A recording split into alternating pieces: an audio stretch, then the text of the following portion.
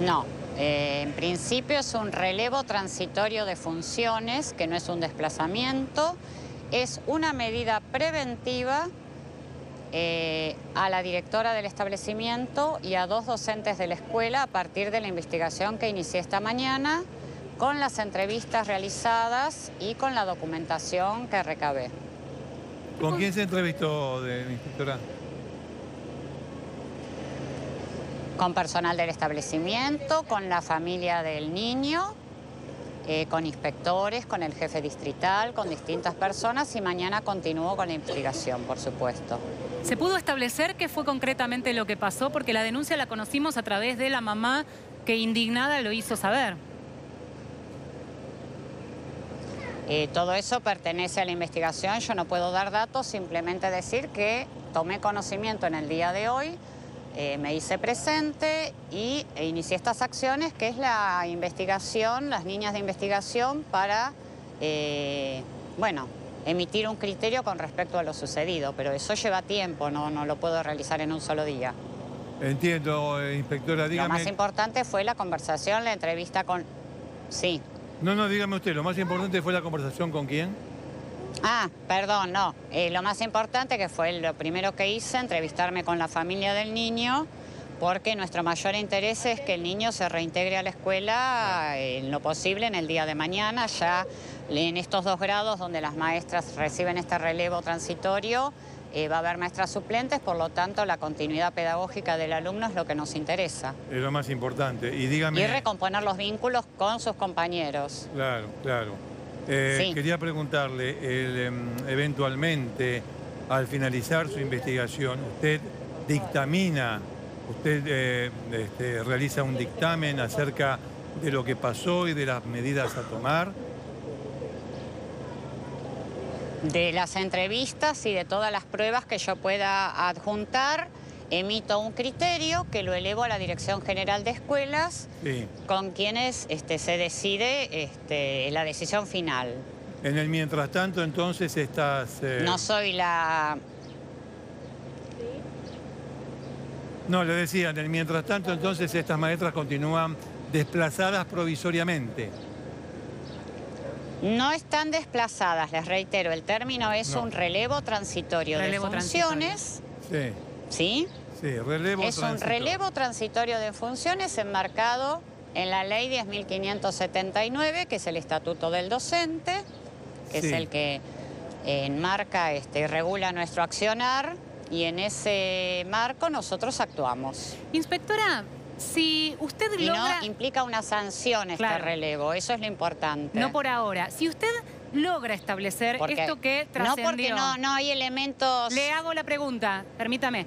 Si usted, a partir de todo el trabajo que tiene ahora por delante, recoger los testimonios, hablar con las docentes, seguramente escuchar también lo que tienen para decir, escuchar seguramente al padre, a la madre, que son parte de la comunidad educativa, una vez que reúna los elementos. Si fuera cierto, porque hay testigos y tenemos entendido que el hermano más grande estaba en el momento de la formación final, cuando con el micrófono abierto, otra docente dice, textual, pobre la señorita de segundo grado, tiene un meado. Si esto se logra establecer, ¿qué pena le podría corresponder a la docente que habló mediante el micrófono, a la docente del aula, que es la que no lo dejó ir al baño, y eventualmente a la directora, que no supo tomar medidas para que este chico volviera al colegio? La sanción que le corresponde es la que está enmarcada en la ley 10.579 que le mencioné antes. Ahí están reguladas de acuerdo al grado eh, de sanción que corresponda. Si de esto se hecho que, no se, sabemos que se pruebe No tenemos ahora el texto, si usted eh, No tengo, yo recién hoy inicio la investigación, por lo tanto, imagínese que tengo muchas entrevistas para hacer, mucha documentación para adjuntar, entonces es imposible que yo hoy pueda eh, pensar qué puedo decidir o qué, puedo, qué criterio puedo emitir. ¿Podría caber el desplazamiento?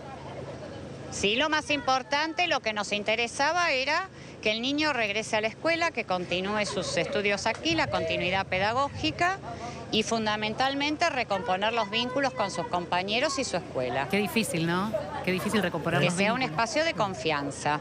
Bueno, este muchacho hay que tener en cuenta, este muchachito que puede ser objeto de bullying, porque lo que le pasó a él fue frente a, mucha gente y además vino por parte de quien debía... Por eso se va a trabajar con la Dirección de Psicología, el equipo de orientación escolar, con talleres de reflexión, con equipos de docentes, talleres para docentes, para padres y para todos los alumnos de la escuela, de manera tal, primero que él pueda recomponer la confianza y su familia la confianza en la escuela.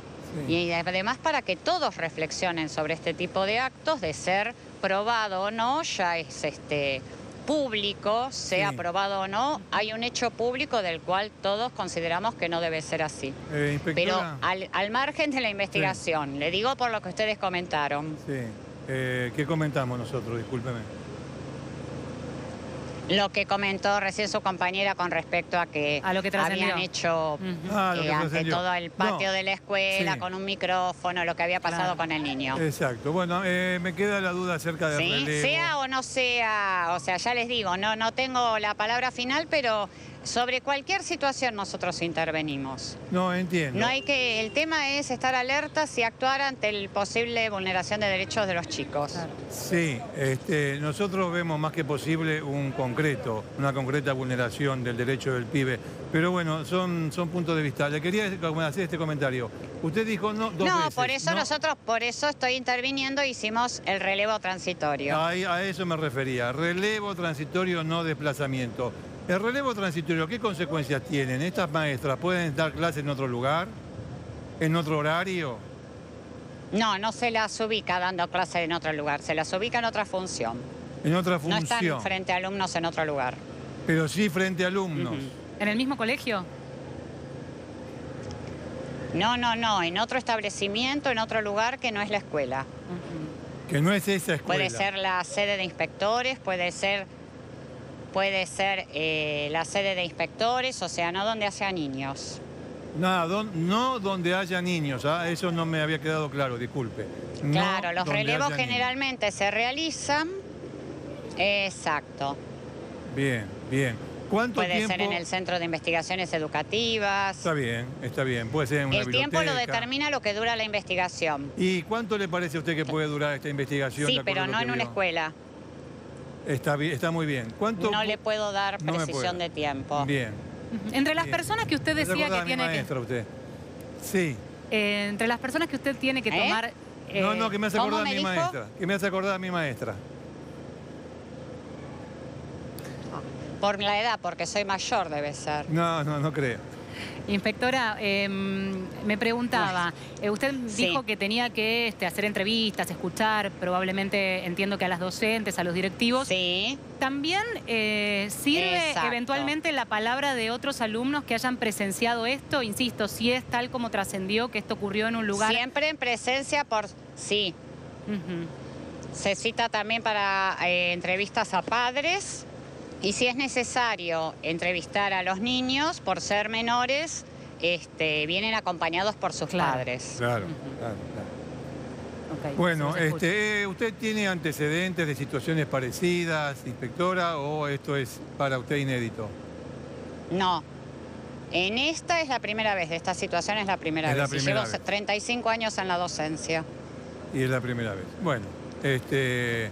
Eh, nada, inspectora, no sé si Valeria tenés alguna otra pregunta. No, me, pregunto este, desde lo subjetivo, porque básicamente es un cargo importante el que desempeña, que tiene que ver con analizar, con escuchar y con prevenir también situaciones en el futuro. Eh, imagino que habrá capacitaciones o, que claramente este es un hecho que de confirmarse es grave, ¿no? Que la propia docente, que es la que tiene muchas veces que acercar posiciones entre alumnos. Siempre que hablamos de bullying hablamos de situaciones de hostigamiento entre chicos. Difícilmente hablamos, este, ya no en esta época, por lo menos de docentes que hostiguen y al menos lo entendemos como un, hostigamiento a un chico de siete años en este caso.